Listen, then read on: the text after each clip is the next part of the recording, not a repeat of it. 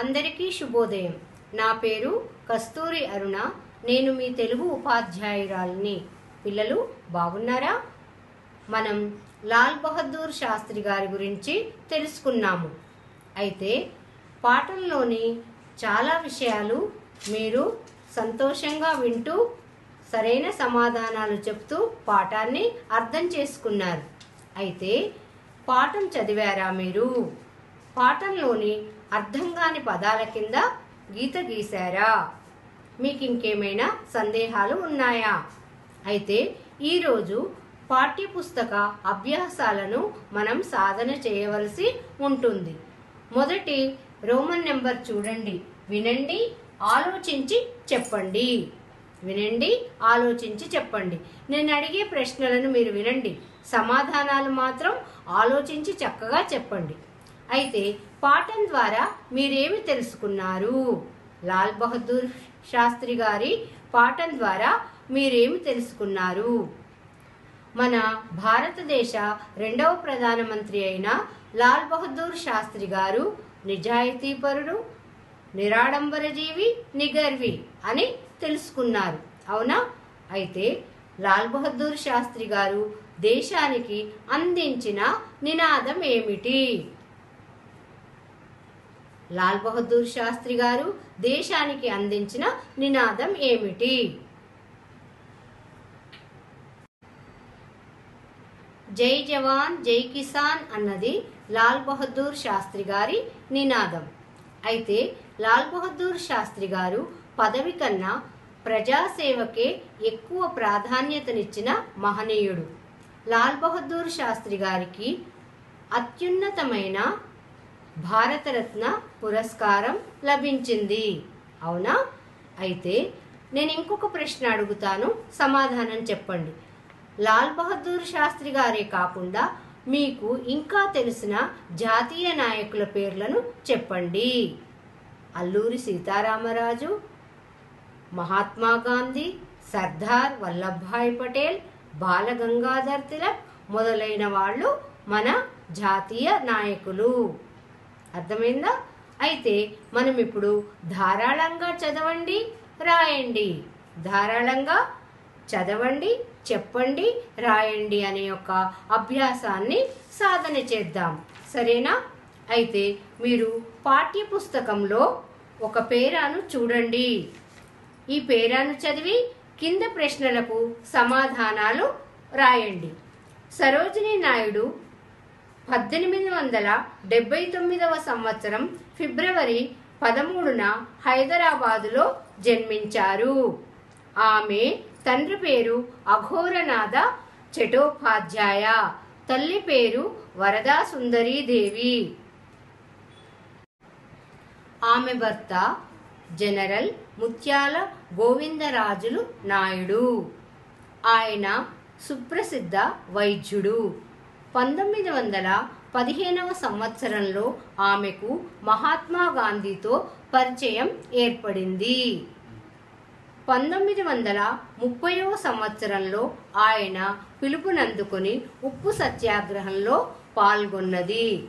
ఆమెను ఎరవాడ జైల్లో నిర్బంధించారు. అక్కడ ఆమె పూల మొక్కలకు నిత్యము నీరు పోసి వాటిని చక్కగా పెంచుతుండేది. ఆమె ఆంగ్లంలో ఎన్నో కవితలు రాసింది. ఆంగ్ల కవయిత్రిగా మంచి పేరు సంపాదించింది. అంతేకాక భారత కోకిల అనే గొప్ప పేరు కూడా సంపాదించింది. పిల్లలు ఈ పేరా చదివారు కదా? మీకు అర్థమైందా? నేను చదువుతుంటే మీరు కూడా ఆ పేరాను పాఠ్యపుస్తకంలో చూశారు కదా? అయితే నేను కొన్ని ప్రశ్నలు అడుగుతాను. సరోజిని నాయుడు ఏ సంవత్సరంలో జన్మించారు? సరోజిని నాయుడు పద్దెనిమిది వందల డెబ్బై తొమ్మిదవ సంవత్సరం ఫిబ్రవరి పదమూడున హైదరాబాదులో జన్మించారు. ఇప్పుడు రెండవ ప్రశ్న. సరోజిని తల్లిదండ్రులు ఎవరు? సరోజినీదేవి తండ్రి అఘోరనాథ చటోపాధ్యాయ తల్లి వరదా సుందరీదేవి అర్థమైందా? మూడో ప్రశ్న చూడండి. సరోజినీదేవి ఎవరి పిలుపునందుకొని ఉప్పు సత్యాగ్రహంలో పాల్గొన్నది?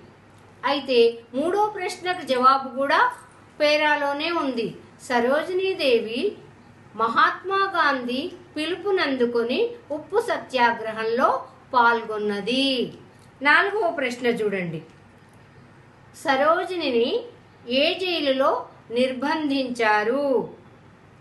సరోజినిని ఎరవాడ జైలులో నిర్బంధించారు. మీరు పేరా చూస్తున్నారు కదా. ఈ ప్రశ్నలకు జవాబులు ఎక్కడున్నాయి? పేరాలోనే ఉన్నాయి. అవునా? ఐదవ ప్రశ్న. సరోజినీ నాయుడుకు ఉన్న బిరుదు ఏమిటి? జవాబు. సరోజినీ నాయుడుకు ఉన్న బిరుదు భారత కోకిల. అర్థమైంది కదా? మనం పేరాను ధారాళంగా చదివాము. తర్వాత అర్థం చేసుకొని సమాధానాలు చెప్పాము. ప్రశ్నలకు జవాబులు రాయగలిగాము. ఇది ధారాళంగా చదవండి. చెప్పండి. రాయండి. ఇప్పుడు ఆ బిట్ చూద్దాం. ఈ వాక్యాలు చదివి ఎవరు ఎవరితో అన్నారో రాయండి. మనము లాల్ బహదూర్ శాస్త్రి గారి పాఠం చదివేప్పుడు పాఠం సంభాషణ రూపంలో ఉందని చెప్పుకున్నాం. అయితే కింద ఇచ్చిన వాక్యాలు ఎవరు ఎవరితో అన్నారు మనము అర్థం చేసుకొని పాఠం ఆధారంగా రాయాలి. సరేనా? తాతయ్య ఈరోజు సెలవు ఎందుకో చెప్పుకోండి. ఈ మాటలు ఎవరు ఎవరితో అన్నారు? షాలి తాతగారితో అన్నది. సరేనా? రెండవ వాక్యం చూడండి. ఆయన మన భారతదేశానికి రెండవ ప్రధానమంత్రి. ఎవరన్నారు ఈ మాటలు? తాతగారు పీటర్తో అన్నారు. మూడవ వాక్యం చూడండి. ఆయన గురించి ఇంకా చెప్పండి తాతగారు. సల్మాన్ తాతగారితో అన్నాడు. నాలుగవ వాక్యం చూడండి. అప్పుడు ఇలా స్కూల్ బస్సులు ఉండేవి కావురా. ఈ మాటలు ఎవరెవరితో అన్నారు? తాతగారు పీటర్తో అన్నారు. సరేనా? తర్వాత ఐదవ ప్రశ్న చూడండి. ఐదవ వాక్యము ప్రశ్న రూపంలో ఉంది. ఆయన ఎటువంటి వారు? ఆయన ఎటువంటి వారు? ఈ ప్రశ్న ఎవరు ప్రశ్నించారు? ప్రభాకర్ తాతగారిని ప్రశ్నించాడు. అర్థమైంది కదా? ఈ మాటలన్నీ ఎవరెవరితో అన్నారన్నది ఎలా చెప్పగలుగుతున్నారు మీరు?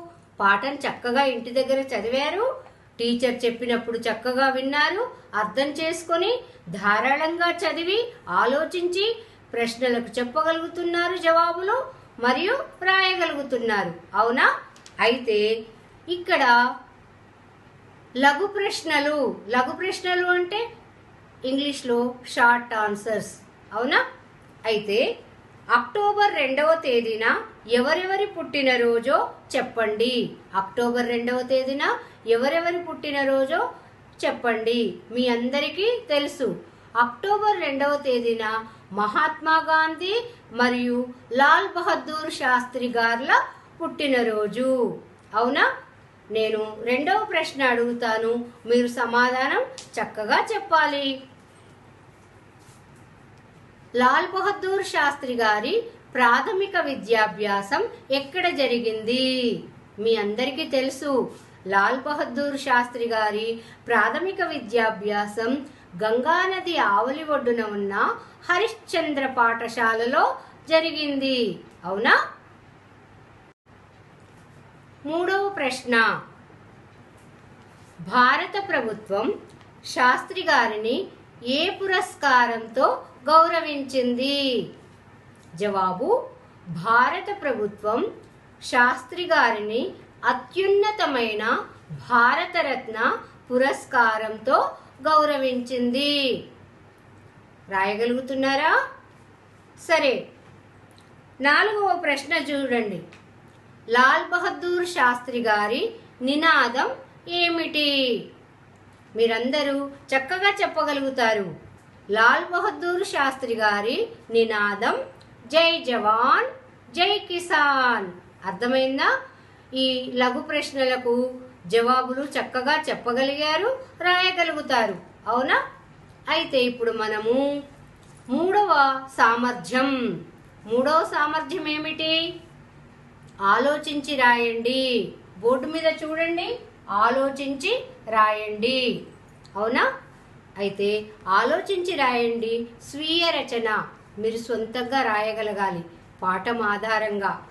అయితే మొదటి ప్రశ్న ఏముందో చూడండి. మన భారతదేశ రెండవ ప్రధానమంత్రి గురించి మీ సొంత మాటల్లో రాయండి. పాఠాన్ని అర్థం చేసుకొని సమాధానం రాయగలగాలి. లాల్ బహదూర్ శాస్త్రి గారు మన భారతదేశానికి రెండవ ప్రధానమంత్రి అని మీ అందరికీ తెలుసు కదా. అయితే అదే విషయాన్ని రాస్తూ వద్దాం. లాల్ బహదూర్ శాస్త్రి గారు మన భారతదేశ రెండవ ప్రధానమంత్రి. అవునా? ఆయన ఎక్కడ జన్మించారు? ఎప్పుడు జన్మించారన్నది రాయాలి. ఆయన పంతొమ్మిది వందల నాలుగు అక్టోబర్ రెండవ తేదీన ఉత్తరప్రదేశ్లోని మొఘల్ సరాయి అనే గ్రామంలో జన్మించారు. తర్వాత ఆయన తల్లి రామ్ దులారీ దేవి తండ్రి శారదా ప్రసాద్ శ్రీవాత్సవ. తర్వాత విద్యార్థి దశలోనే ఆయన భారత సేవా సమితిలో చేరారు. అయితే స్వాతంత్ర పోరాట సమయంలో గాంధీజీతో పాటు పాల్గొని అనేక సార్లు జైలుకు వెళ్ళారు. స్వాతంత్ర ఉద్యమంలో పాల్గొని అనేక సార్లు ఆయన జైలుకు వెళ్ళారు. ఇవన్నీ మీరు పాఠంలో తెలుసుకున్న విషయాలే. ఒకదాని తర్వాత ఒకటి మనము రాస్తున్నామన్నమాట. అయితే ఆయన పంతొమ్మిది వందల అరవై నాలుగు పంతొమ్మిది వందల అరవై నాలుగు జూన్ పదకొండున భారతదేశానికి రెండవ ప్రధానమంత్రిగా ఎన్నికయ్యారు? జై జవాన్ జై కిసాన్ అనే నినాదాన్ని దేశానికి అందించి అత్యున్నతమైన భారతరత్న పురస్కారాన్ని అందుకున్నారు లాల్ బహదూర్ శాస్త్రి గారు. అయితే ఆయన పంతొమ్మిది వందల అరవై ఆరు జనవరి పదకొండవ తేదీన మరణించారు. ఇప్పటి వరకు మనం ఏం చెప్పుకున్నాము? లాల్ బహదూర్ శాస్త్రి గారి గురించి తెలుసుకున్న విషయాలను మన సొంత మాటల్లో చెప్పగలిగారు మీరు రాయగలిగారు. సరేనా? నేను ఇంకొక ప్రశ్న అడుగుతాను. సమాధానం చెప్పండి నెమ్మదిగా రాయండి. సరేనా? అయితే అక్టోబర్ రెండవ తేదీన జన్మించిన మహాత్మా గాంధీ గారి గురించి సొంత మాటల్లో రాయండి. సరేనా? నేను చెప్తాను మీరు రాయండి. మహాత్మా గాంధీ గారు అక్టోబర్ రెండవ తేదీన గుజరాత్లోని పోర్బందర్లో జన్మించారు. ఆయన పూర్తి పేరు మోహన్ దాస్ కరమ్చంద్ గాంధీ. ఆయన తండ్రి పేరు కరమ్చంద్ గాంధీ. తల్లి పేరు పుత్లీబాయి. అయితే మహాత్మా గాంధీ గొప్ప స్వాతంత్ర సమరయోధుడు. ఆయనను ప్రజలు జాతిపితగా గౌరవిస్తారు.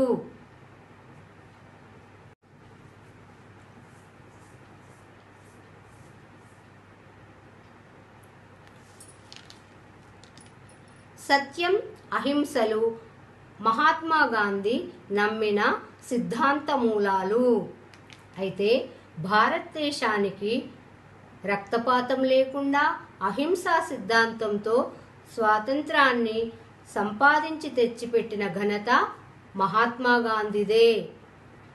సరేనా? మీకు స్వాతంత్ర సమరయోధుడైనటువంటి మహాత్మా గాంధీ గురించి తెలుసు కదా? సరేనా? ఇప్పుడు మూడవ ప్రశ్న.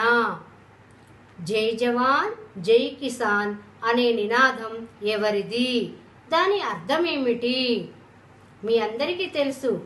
జై జవాన్ జై కిసాన్ అంటే మన దేశ సరిహద్దులలో ఉండి దేశాన్ని రక్షించేటువంటి జవాన్లకు జవాన్ల కంటే సైనికులకు జేజేలు పలకడం.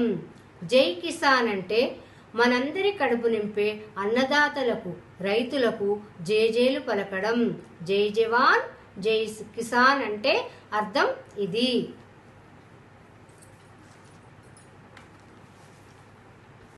ఇప్పుడు నాలుగవ సామర్థ్యం సృజనాత్మకత. సృజనాత్మకత. సరేనా? అయితే పాఠాన్ని విద్యార్థులు నాటకీకరణ చేయాలి. నాటకీకరణ అంటే ఇప్పుడు పాఠం సంభాషణ రూపంలో ఉందని మనం చెప్పుకున్నాం కదా.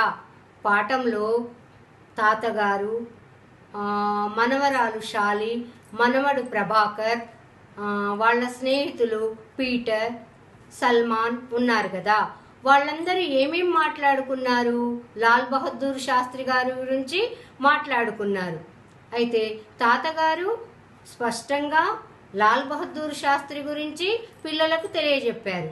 అయితే మీ విద్యార్థుల్లో నుండే తరగతిలోని విద్యార్థులు ఒకరు తాతగారిలాగా ఒక అమ్మాయి షాలీ లాగా ఒకళ్ళు పీటర్ లాగా ఒకళ్ళు సల్మాన్ లాగా ఒకళ్ళు ప్రభాకర్ లాగా ఏం చేయాలి? నాటకీకరణ చేయాలి.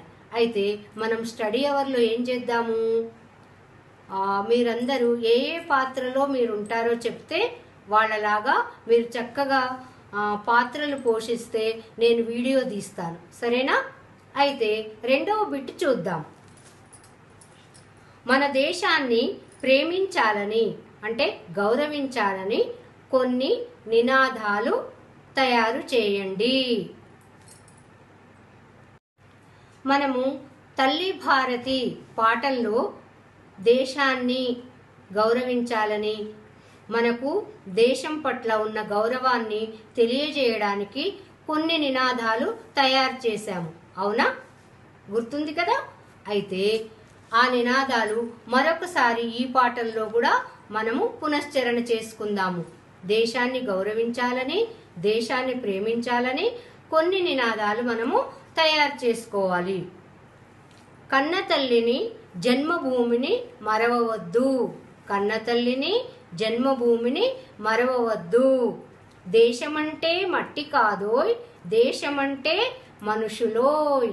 దేశమంటే మట్టి కాదోయ్ దేశమంటే మనుషులోయ్. తర్వాత ఏ దేశం వెళ్ళినా మాతృదేశాన్ని మరవవద్దు. ఏ దేశం వెళ్ళినా మాతృదేశాన్ని మరవవద్దు. కన్న తల్లికి ఉన్న ఊరికి సేవ చేయాలి. అర్థమైందా? కన్న తల్లికి ఉన్న ఊరికి సేవ చేయాలి. జన్మభూమి స్వర్గంతో సమానం. జన్మభూమి స్వర్గంతో సమానం. ఈ నినాదాలే కాకుండా మీకు ఇంకేమైనా నినాదాలు రాయగలిగితే రాసుకురండి. సరేనా? ఇప్పుడు ఐదవ సామర్థ్యం పదజాలం. మీకు తెలుసు కదా పాఠం చదువుకునేటప్పుడు అర్థం కాని పదాల కింద గీత గీయండి అని చెప్పాం కదా ఎన్నో పదాలు ఉన్నాయి ఆ పదాలకు మనము అర్థాలు తెలుసుకున్నాం. నేను ఒక పదం అడుగుతాను. అర్థం చెప్పండి మీరు. కళంకం అనుంది. కళంకం అంటే ఏమిటి? కళంకం అంటే మచ్చ లేదా నింద. అవునా? అయితే ఇప్పుడు పాఠ్యపుస్తకంలో చూడండి పదజాలంలో వాక్యం ఉంటుంది. వాక్యంలో ఒక పదానికి కింద గీత గీసి ఉంటుంది. ఆ గీత గీసిన పదానికి మనం అర్థం రాయాలి. అవునా? అయితే ఫస్ట్ వన్ చూడండి. మొదటి మొదటి వాక్యం. ఉత్తరప్రదేశ్లోని మొఘల్ సరాయి శాస్త్రి గారి స్వగ్రామం. స్వగ్రామం కింద గీత గీసింది. స్వగ్రామం అంటే సొంత ఊరు. రెండవ వాక్యం చూడండి. శాస్త్రి గారు నిగర్వి నిరాడంబరులు. నిగర్వి అనే పదానికి గీత గీసింది. నిగర్వి అంటే గర్వం లేని వారు గర్వం లేని వాడు. అవునా? తర్వాత మూడవ వాక్యం చూడండి. భారతీయులు స్వాభిమానధనులు. స్వాభిమానం అంటే అభిమానం కలవారు. నాలుగవ వాక్యం చూడండి. ఎంతోమంది స్వాతంత్ర పోరాటంలో పాల్గొన్నారు. పోరాటం అంటే యుద్ధం. కృష్ణానది ఆవలి ఒడ్డున పెద్ద కొండ ఉంది. ఆవలి. గీత గీసిన పదం ఆవలి. ఆవలి అంటే అవతలి వైపు. అర్థమైందా? తర్వాత ఆరో చూడండి. పీటర్ సల్మాన్ సంభాషించుకుంటున్నారు. సంభాషణ అంటే మాట్లాడుకోవడం. సంభాషణ మాట్లాడు. అర్థమైందా? తర్వాత ఆ బిట్ చూడండి. కింది వాక్యాల్లో గీత గీసిన పదాలకు వచనాలు మార్చి రాయండి. ఒకటో వాక్యం. మాకు దసరా సెలవులు ఇచ్చారు. గీత గీసిన పదం ఏంటి? సెలవులు. సెలవులకు ఏకవచనం ఏమి రాయాలి మనము? సెలవు. అర్థమైందా? రెండవ వాక్యం చూడండి. యుద్ధంలో ఎంతో మంది ప్రాణాలు కోల్పోయారు. గీత గీసిన పదం ఏదో చెప్పండి నాకు మీరు. గీత గీసిన పదం యుద్ధం. యుద్ధం అంటే రణం అంటారు పోరు అని కూడా అంటారు. సరేనా?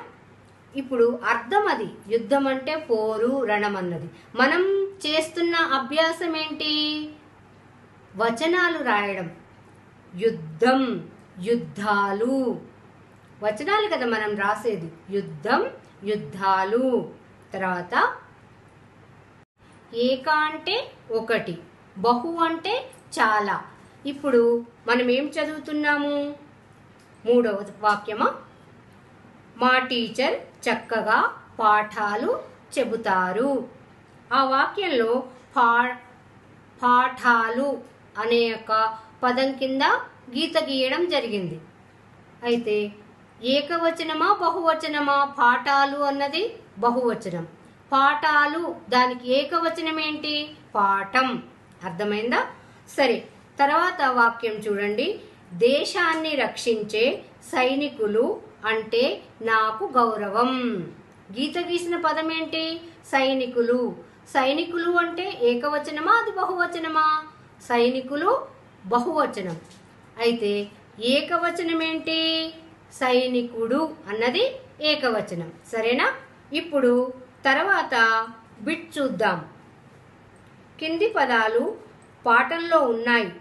ఈ పదాలు ఈ పదాలున్న వాక్యాలు చదవండి. అవునా? వాటి అర్థం గ్రహించి సొంత వాక్యాలు రాయండి. పాఠంలో చాలా పదాలు ఉన్నాయి కదా. కొన్ని పదాలను తీసుకొని మనం సొంత వాక్యాలు రాయ రాయాలి. అంటే పాఠంలో ఉన్నట్టే కాకుండా ఆ పదాన్ని ఉపయోగించి సొంత వాక్యాలు వ్రాయాలి. ఏకగ్రీవం. మా తరగతి లీడర్ను ఏకగ్రీవంగా ఎన్నుకున్నారు. రెండవ పదం చూడండి. సంభవించు. జపాన్లో భూకంపం సంభవించింది. మూడవ పదం చూడండి. అకస్మాత్తుగా మా ఇంట్లోకి అకస్మాత్తుగా పాము వచ్చింది.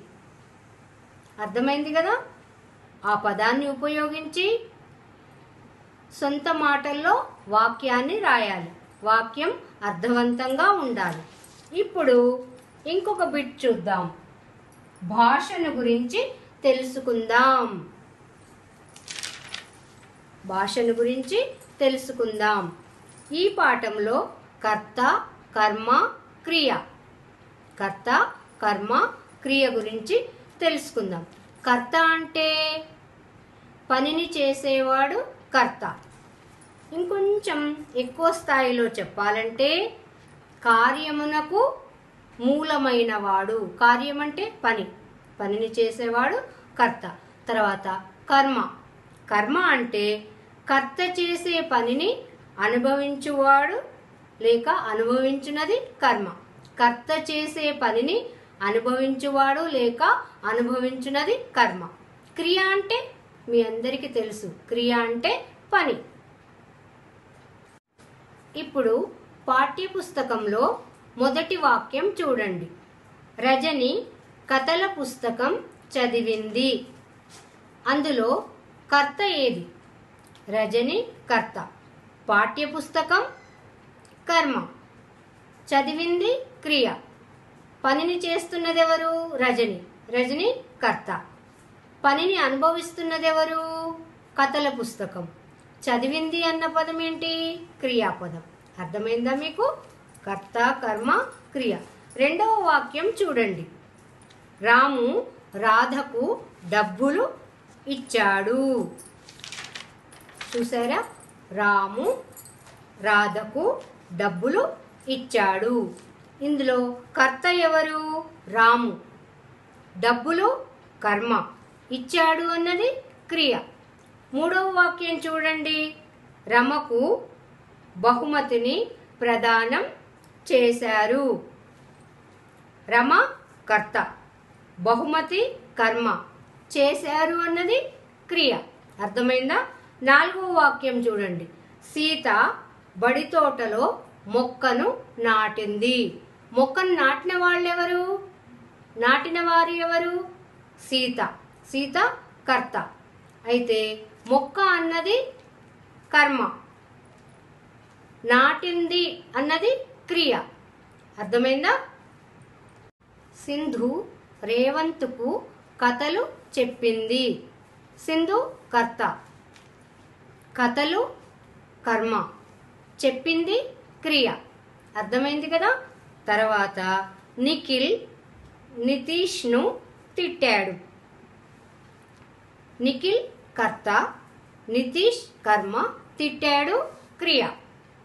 అయితే మీకు ఒకవేళ అర్థం కాకపోతే మళ్ళీ స్టడీ అవర్లో నేను మీకు వివరిస్తాను. అయితే తర్వాత సామర్థ్యం ఏముంది చూడండి. ఇక్కడ ప్రాజెక్టు పని. మీకు అందరికీ ప్రాజెక్టు పని అంటే చాలా ఇష్టం. ఈ పాఠంలో ప్రాజెక్టు పని ఏముందంటే మీకు తెలిసిన జాతీయ నాయకుల చిత్రాలను సేకరించి అతికించి పేర్లు రాయండి. మీరు జాతీయ నాయకుల చిత్రాలను సేకరిస్తారు నాకు తెలుసు. అయితే ఆ చిత్రాలను సేకరించి అతికించి ఆ చిత్రాల కింద పేర్లు రాయాలి. పేర్లు తెలుగులోనే రాయాలి. సరేనా? తర్వాత వారి గురించి రెండు లేదా మూడు వాక్యాలు తప్పనిసరి రాయాలి. ఇది ఈ ప్రాజెక్టు పనిని నేను మీకు ఇంటి పనిగా ఇస్తున్నాను. సరేనా? అందరూ చేస్తారు కదా? మీరందరూ లాల్ బహదూర్ శాస్త్రి గారి పాఠాన్ని ఎంతో శ్రద్ధగా విన్నారు. నేను అడిగిన ప్రశ్నలకు ఉత్సాహంగా సంతోషంగా అంటే ఆ ప్రశ్నలన్నిటికీ సమాధానాలు చక్కగా చెప్పారు. అయితే పాఠ్యాంశం పూర్తయిన తర్వాత నేనివి చేయగలనా? పాఠం అర్థమైతే మీరు శ్రద్ధగా వింటే ఆ సామర్థ్యాలన్నీ చేశారు గనక మీరు సమాధానాలు చెప్పగలుగుతారు. శాస్త్రి గారి గురించి సొంత మాటల్లో చెప్పగలను. అవునా కాదా? చెప్పగలుగుతారా లేదా? ఒకసారి ఆత్మ పరిశీలన చేసుకోవాలి. రెండవది చూడండి. అపరిచిత పేరా చదివి ప్రశ్నలకు సమాధానాలు రాయగలను. సరోజిని నాయుడు గురించి ఒక పేరా ఇచ్చి కింద ప్రశ్నలు ఇస్తే చక్కగా ప్ర సమాధానాలు చెప్పారు మీరు. సమాధానాలు రాశారు కూడా. అవునా? తర్వాత చూడండి. ఆలోచించి సొంత మాటల్లో సమాధానాలు రాయగలను. మీకు పాఠం అర్థమైంది కాబట్టి ఆలోచించి రాయగలుగుతారు. తర్వాత నినాదాలు రాయగలను. కన్న తల్లిని ఉన్న ఊరిని మరవద్దు. దేశమంటే మట్టి కాదోయ్ దేశమంటే మనుషులోయ్. ఆ విధంగా నినాదాలు మీరు రాయగలుగుతారు. ఈ విధంగా మీరందరూ పాఠాన్ని చక్కగా అర్థం చేసుకున్నారు. అవునా?